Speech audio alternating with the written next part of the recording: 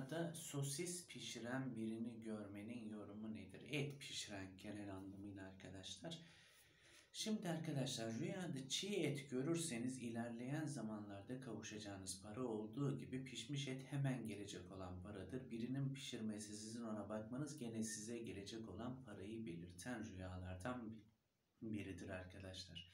Faranjitim ondan kusura bakmayın. Sabahtan beri bu ikinci limonlusu oldum.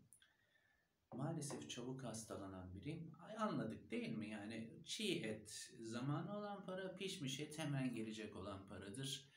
Efendim görüşürüz. Hoşça kalın. Kendinize iyi bakın. Hadi bakalım.